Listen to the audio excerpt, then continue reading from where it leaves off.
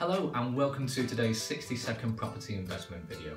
My name is David and I'm in the ever popular area of Bowerham. Currently I am in a two bedroom apartment at York House.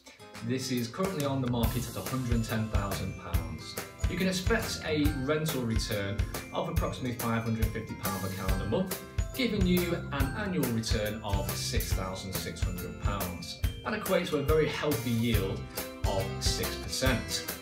Tastefully decorated throughout, this property is an absolute gem.